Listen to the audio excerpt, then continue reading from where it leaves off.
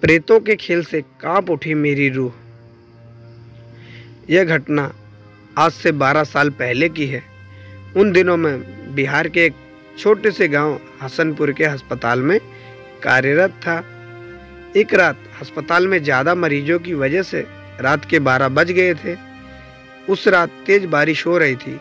मैं भीगते भीगते अपने घर पहुँचा। कपड़े गीले हो जाने की वजह से मैं अपने कपड़े बदल ही रहा था कि अचानक दरवाज़ा खटखटाने की आवाज़ आई। मैंने सोचा इतनी रात को कौन आया होगा? सुनसान रास्ते से होते हुए वो लड़की मुझे पाँच सात किलोमीटर दूर तक किसी गाँव में ले गई। मैंने सोचा कि ये लड़की इतनी रात को मेरे यहाँ कैसे पहुँची? लेकिन मैंने इन बातों की तरफ़ ध्यान न देते हुए एक मकान में पहुँची और वहाँ उसकी माँ बीमार पलंग पर लेटी थी। मैंने उसकी नब्ज देखी और इंजेक्शन दे दिया और कुछ दवाएँ लिख दी। उस लड़की ने मुझको बाहर मेरी जीप तक मुझको छोड़ दिया। फिर मैं घर पर आ गया। अगली सुबह मैं जब अस्पताल के लिए जाने लगा तो सोचा कि रात वाले मरीज़ से मिलता जाऊँ, थोड़ा सा चक्कर ही पड़ेगा। रास्ते में जाने को ये सोचकर मैं वहाँ गाँव में पहुँचा। मैं रात को जिस मकान में गया था, उस जगह पर मुझे कोई नहीं दिखा। मुझे उस जगह पर खंडर नज़र आ रहा था। तो मैं गाँव के लोगों से पूछने लगा कि यहाँ एक घर और परिवार रहता है? तो लोगों ने हैरानी से देखते हुए कहा कि यहाँ ऐसा कोई घर नहीं है, यह सुनकर मेरे रोंगटे खड़े हो गए।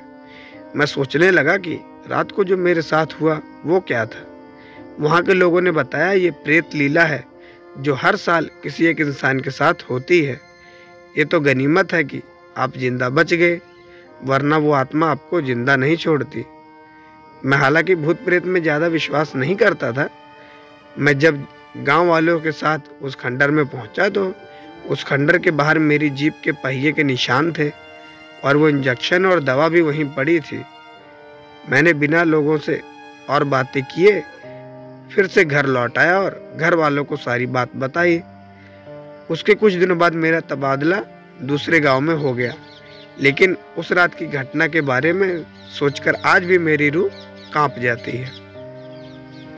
तो ये थी हमारी आज की कहानी। आशा करते कहानी आपको पसंद आई होगी। कहानी कैसी लगी अपनी राय कमेंट करके ज़रूर बताएँ। साथ ही वीडियो को लाइक कर दें और दोस्तों तक शेयर कर दें। चैनल पर नए हो तो सब्सक्राइब करना ना भूलें।